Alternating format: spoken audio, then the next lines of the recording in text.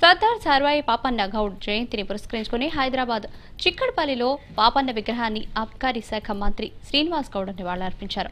తెలంగాణ రాష్ట్ర కలుగీత సంఘాల సమన్వయ సమితి ఆధ్వర్యంలో నిర్వహించిన ఈ కార్యక్రమంలో శ్రీనివాస్ గౌడ్తో పాటు స్వామి గౌడ్ బూరా నరసయ్య గౌడ్ పాల్గొన్నారు. గౌడుల కోసమే కాకుండా దళితో బడుగు బలహీన వర్గాల కోసం సర్దార్ సర్వాయి పాపన్న గౌడ్ కృషి చేశానని శ్రీనివాస్ గౌడ్ అన్నారు.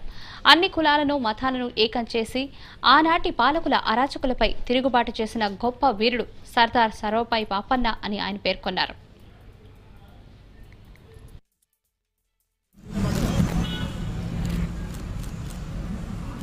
Hello hello. కొంచెం వాల్యూమ్ పెంచండి మానిటర్ మానిటర్. చేయలేదు. అన్ని కులాలు చేసిండు. అన్ని కులవృత్తులు చేసిండు. అందరికి ఆదరించిండు. కనుక సర్దార్ సార్వే పాప నాకు గౌళ్ళ నాయకుడు కాదు. అందరికీ దేవుడు. పేదల దేవుడు. కనుక మీరందరూ కూడా ఆయన ఆదరించి ఆయన పుస్తకాన్ని చదివి ఆయన చరిత్రను తెలుసుకొని ఆయన ఆదర్శంగా ఆయన మాదిరిగా పది మంది గురించి బతకాలి గౌళ్ళు అంటే రెండు క్లాసుల విధానం ఉన్నప్పుడు కూడా ఈ దుకాణంలో రెండు క్లాసులు లేవు. అందరూ ఒకటే దగ్గర రావాలి. పది మందిని బతికించినట్టు వృత్తిది పది కుల వృత్తులను బతికినట్టు వృత్తిది చేపల్లో అమ్ముకోవచ్చు అరకట్టుకైనా చీకీలు కాల్చుకోవచ్చు.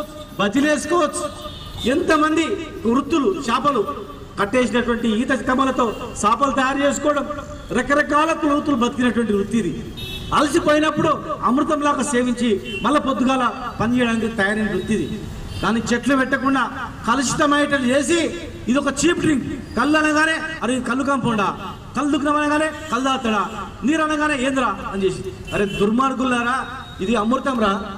మీరు కలుషితం చేసిండ్రు. ఖచ్చితంగా మా ప్రభుత్వంలో కోట్ల చెట్లు పెడతాం. మళ్ళా పూర్వ వైభవం తెస్తాం. అన్ని కుల వృత్తులను కాపాడుకుంటాం. అందరికీ ఆదరిస్తాం అని చెప్పి